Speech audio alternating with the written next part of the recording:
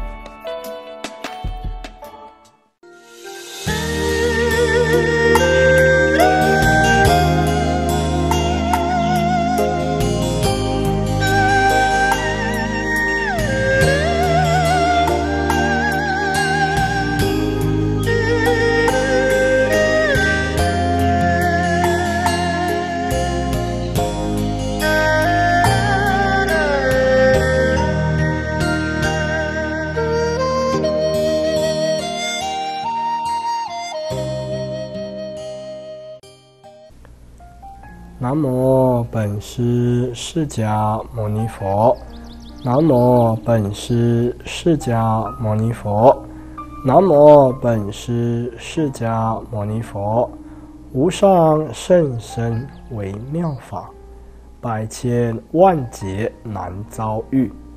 我今见闻得受持，愿解如来真实义。四十二章经。各位菩萨，阿弥陀佛。这堂课我们正式的进入四十二章经的正文。在进入正文之前，还是要先提醒各位菩萨一下，我们为什么要学习这一部四十二章经？四十二章经就是四十二则故事，简单来说就是四十二则小故事。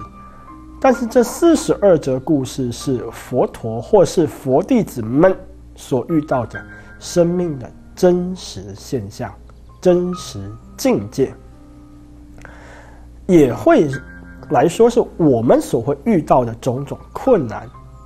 但这个时候，我们透过学习四十二章经，把我们这辈子所会遇到的各种生命现象，虽然说我们有八万四千种烦恼。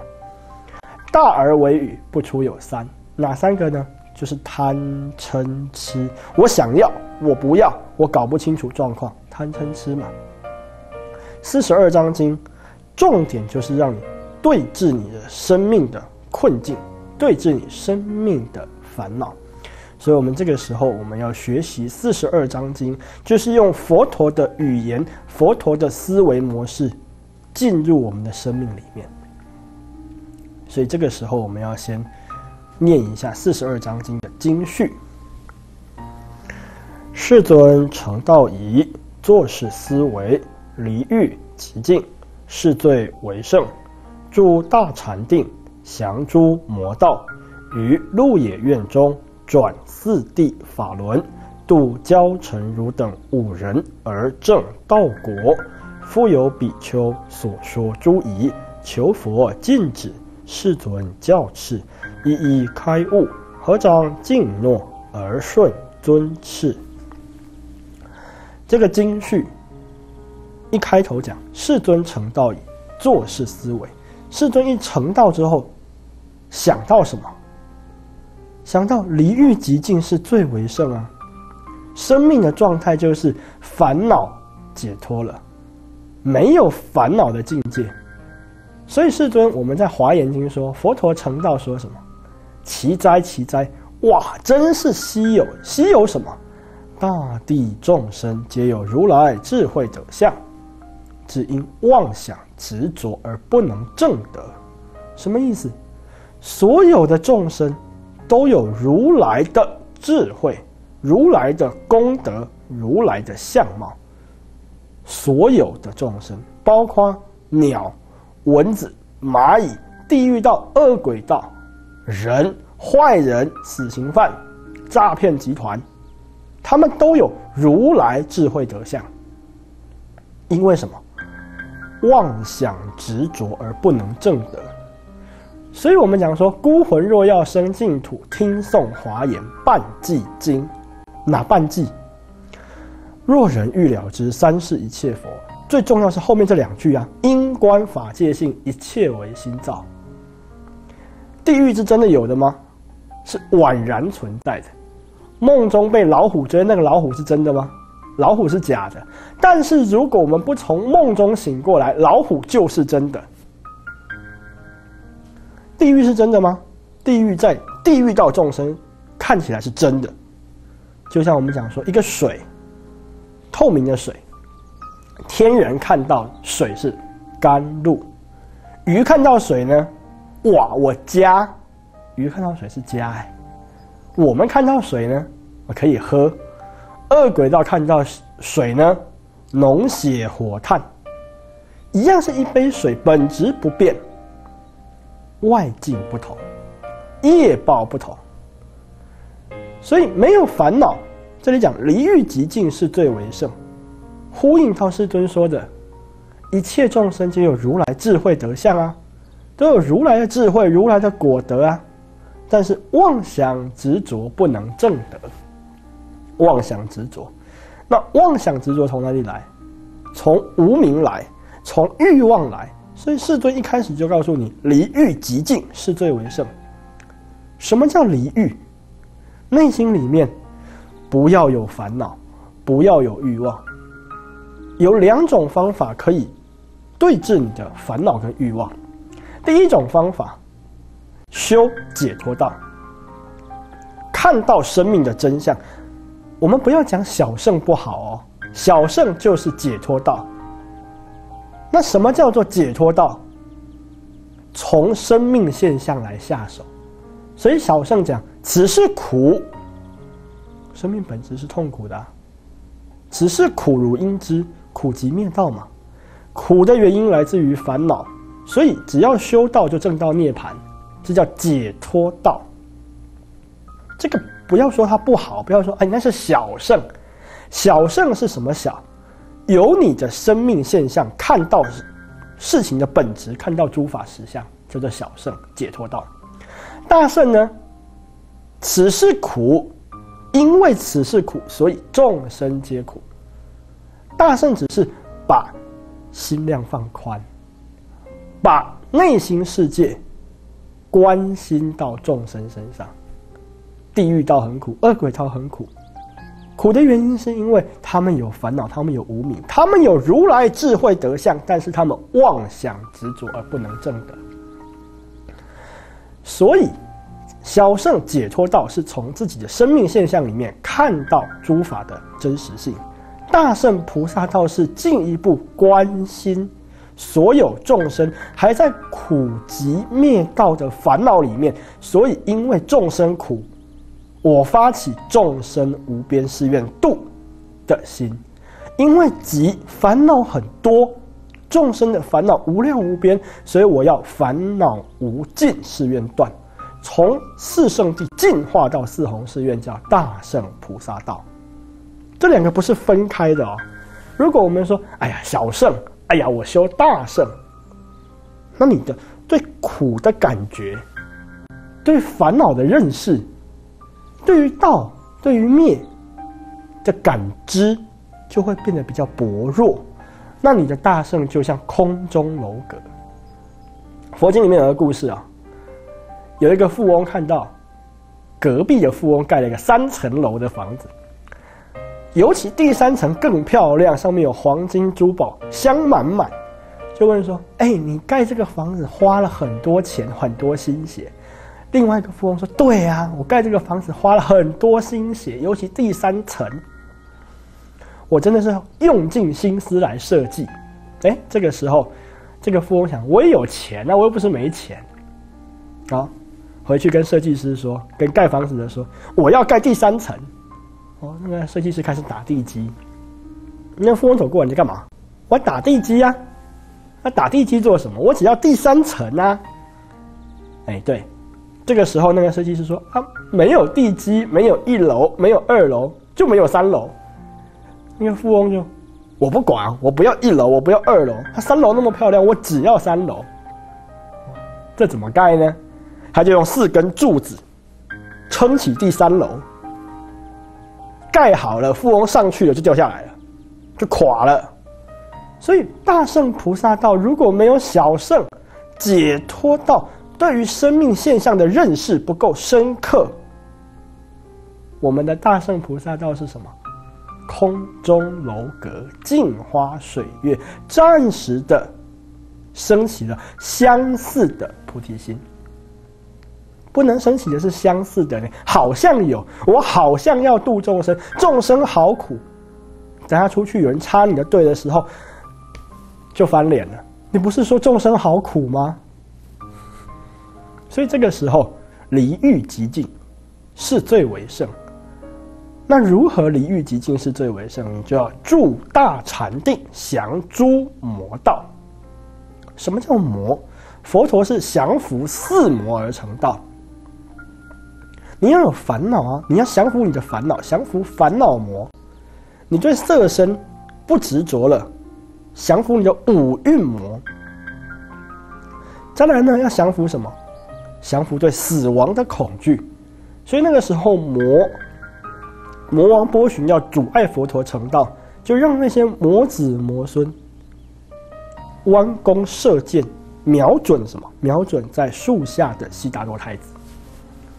佛陀那个时候对生死是没有恐惧的，佛陀对生死是不害怕的，这就叫降魔成道。所以后来魔王所发出来的剑变成莲花。这里补充一个故事：欧舍氏国王那个时候听了提婆达多的教唆，就要去杀佛陀。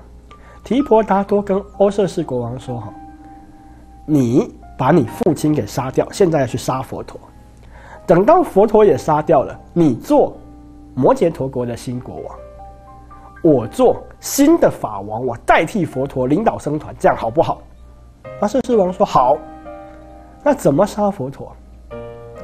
先派五个杀手，在佛陀打坐的地方瞄准他，把弓箭拉开，瞄准佛陀，射死佛陀之后呢，再派二十五个。人在那五个杀手回来的路上，把那五个杀手给杀掉，再派一百二十五个人去杀掉那二十五个人。这连环的计谋之后呢，就没有人知道说佛陀到底是被谁给杀死的。给这个时候呢，那五个杀手剑都已经不得不发，箭在弦上了。佛陀那个时候对生死是没有恐惧的，佛陀是抬起头。看了那五个杀手一眼，那五个杀手就跪下来，弓箭就放下了。为什么？怎么有人的眼睛这么清澈？怎么有人的眼睛这么慈悲？所以佛陀征服了对死亡的恐惧，他就可以征服这个世界。所以有一句话说：“释迦牟尼佛用三大阿僧祇劫的时间征服了自己的烦恼。”再用无量劫的难行苦恨，征服了这个世界的众生。如何征服的？用慈悲。所以，我们中国不是讲仁者无敌吗？仁者，慈悲心的人没有敌人，仁者无敌。这就是释迦牟尼佛必胜的武器呀。释迦牟尼佛遇到魔王攻击的时候，他的必胜武器是慈悲心。同样的，面对那五个杀手的时候，释迦牟尼佛面不改色。释迦牟尼佛面不改色，还看着那五个杀手。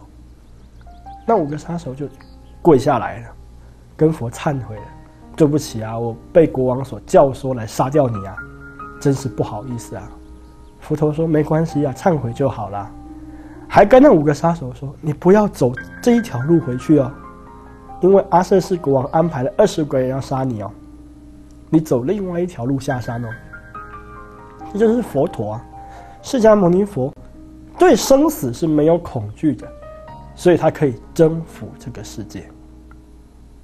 因为你对生死的恐惧已经不害怕，生死如梦幻，就像我们修行人，死就是往生极乐世界啊，生死如梦幻的时候，你就不会被这个身体绑住啊，你癌症末期了哦，正好念佛；你儿子死掉了哦，正好念佛；你被倒会了哦，正好念佛。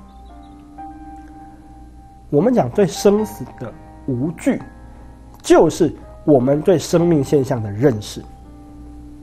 所以这个时候，住大禅定，降诸魔道，那个禅定就是大慈大悲，看到事情的本质。因为我看到他的本质，因为了解，所以慈悲。魔王被他的烦恼所驱使，所以他在痛苦。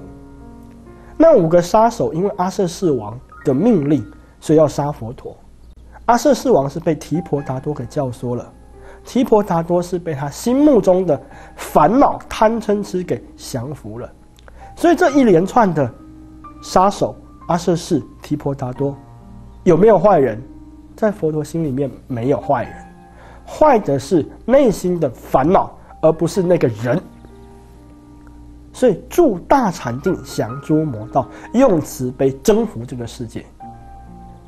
所以于鹿野苑中往下看，于鹿野苑中转四谛法轮，有一个故事哦。那个时候，释迦牟尼佛离开王宫，离开王宫之后，就去拜访了好几个仙人，很快就证到他们的境界，包括非想非非想定。释迦牟尼佛觉得这个不是，这个不是解脱之道啊，他就在树下苦行林。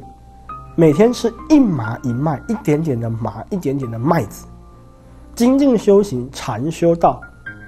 鸟都以为这是个枯树，在他头上结，做窝做鸟巢了，就知道释迦牟尼佛当初是多么羸弱，因为苦行嘛。后来释迦牟尼佛终于发现，六年的时间没有办法让他内心真正极静。过去的王宫太快乐了，现在的苦行太痛苦了。所以释迦牟尼佛舍弃了苦行，去泥莲长河洗澡。现在印度也有有些外道是不洗澡的哦，有些外道不洗澡的，所以他这个时候洗澡就把他放弃苦行，然后呢，接受了苏加塔牧羊女的供养乳粥，开始吃东西了。那跟着他的阿若娇成如这五个人，就这样讲：悉达多放弃苦行了，不想修行了。他要回去过他的那个大少爷的日子，所以这五个人就相约：我们不要再理悉达多，我们不要再理他了。那佛陀呢？佛陀没关系啊，自己一个人独自走到了金刚菩提场，在菩提树下降伏魔怨，成等正觉之后，佛陀第一个想到的是什么？第一个想到的是。当初跟着我一起修苦行的那五个人，他们不理我，但是我要理他，这是大慈大悲的显现。你可以不理菩萨，但是菩萨一定要理你。你可以不理地藏菩萨，但是在你堕地狱的时候，地藏菩萨会救你。你可以不要理观世音菩萨，但是当你在生命痛苦的时候，你只要愿意念观世音菩萨，一样他会救你。甚至过去有很多例子，有些人输钱了，把观音菩萨丢到河里面了，但是后来得癌症的时候念观音菩萨，观音菩萨还是过来救他。这就是佛陀。你可以不理他，但是他永远意念你。在楞严经里面讲，如母忆子，十方如来怜念众生如母忆子。我们可以不理佛，但是佛陀一定会理你。我们可以不认识佛陀，但是佛陀一定认识你。所以这个时候，他就回到了他自己走哦，走了两百七十五公里到鹿鹿野苑。那五个阿若娇成如那五人看到了，先说了一句话：“我们不要理那个悉达多。”哎，佛陀怎么做？佛陀在他们的对面，家夫坐。但是。成佛有成佛的气质，记得修行有修行人的气质，修行有修行人的味道，成佛有成佛的气质。他们就发现，哎，悉达多好像不一样。这个时候，他们慢慢的被佛陀所感动了。转过来的时候，佛陀说什么？此事苦如应知，此事急如应断。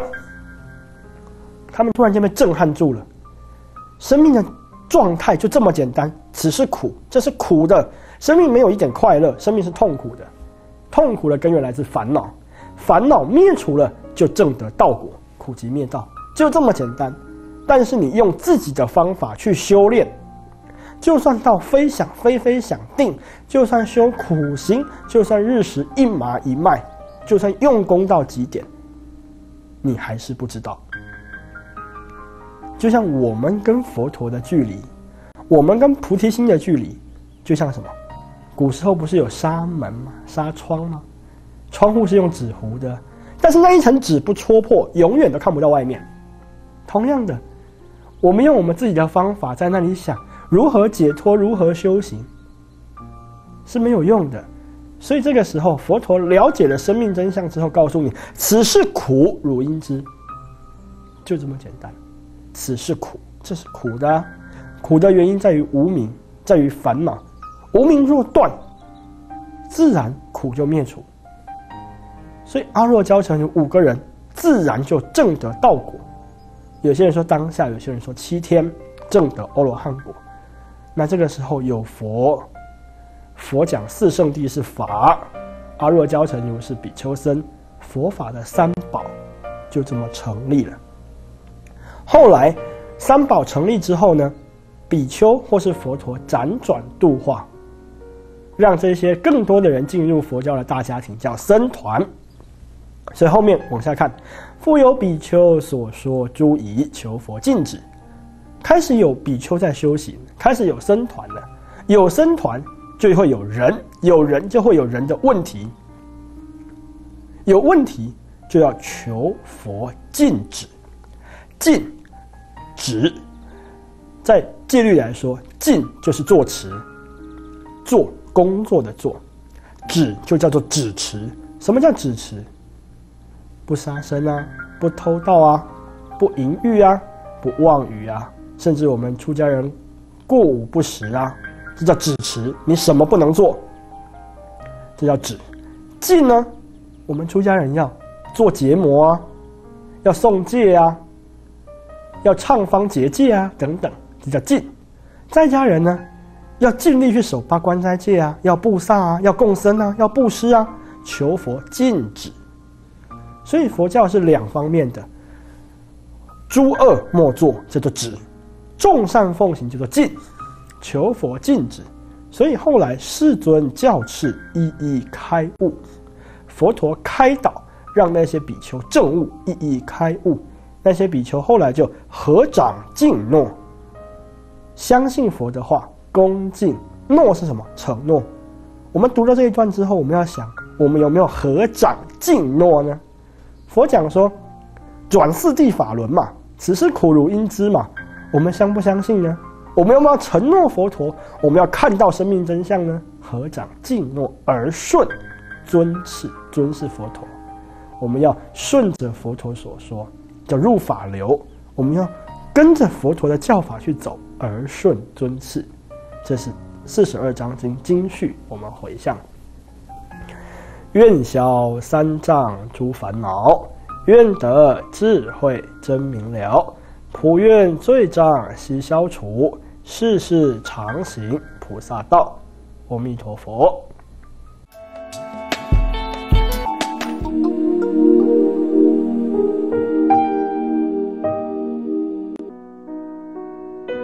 生命电视台的存在，代表佛陀的教法及慈悲，让大众能够感受到。感谢各位收看生命电视台，也愿大家多护持生命电视台。护持账号：一九九六五二三二，一九九六五二三二，户名：生命文化基金会。佛教慈悲置业基金会台南分会举办共修法会，日期二月十九日星期六起，时间每周六下午两点至五点，修持不动佛仪轨，恭诵月藏经吉祥文，恭请占信法师领众。联络电话：零六二七一六六一六。或零六二七一六六一二，零六二七一六六一六或零六二七一六六一二。地点：台南市永康区永大路二段三百四十五号。敬邀菩萨参与熏习，同沾法益，共沐佛恩。配合防疫措施参加共修，敬请佩戴口罩、量体温。佛教慈悲置业基金会台南分会陈真义工，联络电话：零六二七一六六一六或零六二七一六六一二。地点：台南市永康区永大路二段三百四十五号。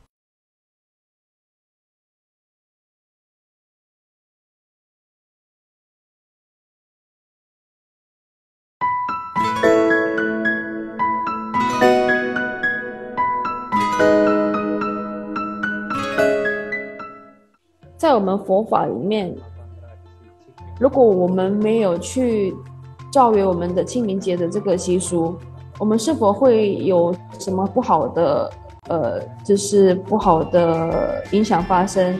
我们是不是会有什么，就是对我们的祖先会有任何的影响？对，还请大家师傅来跟我们分享。首先，在佛教里头。不只是清明节，我们要意念到我们的祖先，而是所有我们所做的功课啊，所做的善行啊，我们都可以回向给我们祖先。所以在佛教里头，其实可以这么说：，对于佛教徒来说，我们每一天，我们都可以把它当做清明节一样的去祭祖，甚至我们每一天都可以把它当做清明节一样去回向给祖先。因为我们的重点是要让他们离开痛苦，得到快乐。既然这个样子，那我们怎么可以说哦？那你等吧，祖先，你等到明年的清明节，你还要再等一年，你才能够离苦得乐？不可能。佛教里面是我们希望他。哎呦，每天我都做功德回向给祖先，每天我都发愿回向给他们，每天我都做善事，乃至每天我都念佛，都希望他们能够离苦得到快乐，这才是佛教的重点。所以呢，我们不应该说，如果我不做，会有什么负面影响？应该说。佛教要求你要慈悲，要大慈大悲，要开始发心，要开始发愿，所以我们反而应该承担起来。我们每天都要意念一下祖先，每天都要意念一下痛苦的众生，每天都要不断不断的回向给他们。我们不要说不做会有什么影响，你应该想说，如果我今天没有去做，那谁要超度他们啊？他们是不是还要痛苦很久啊？